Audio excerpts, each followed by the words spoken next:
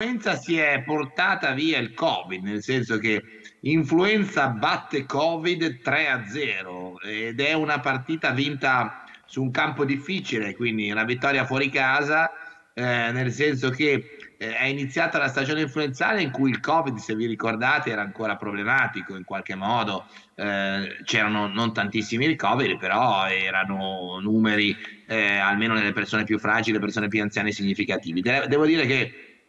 il periodo delle, diciamo, natalizio e il post Natale ha fatto sì che il, l'influenza e tutti i virus diciamo minori, parainfluenzali che hanno in qualche modo attaccato i cittadini liguri in questi mesi abbiano completamente spazzato via il Covid. Se guardiamo i numeri del Covid in Italia e anche nella nostra regione sono evidentemente ai titoli di coda. Eh, poi se questa è una vittoria definitiva o solo una vittoria temporanea lo vedremo. Eh, certamente eh, quest- la stagione influenzale di quest'anno ha rimesso a posto eh, molte cose che i, quattro, i tre anni precedenti avevano in qualche modo alterato pesantemente, sto parlando a livello epidemiologico. Dopodiché siamo in una fase di discesa eh, complessiva in generale delle infezioni respiratorie, c'è ancora, certamente ci sono ancora degli accessi in ospedale, e delle persone che, che stanno male per queste forme,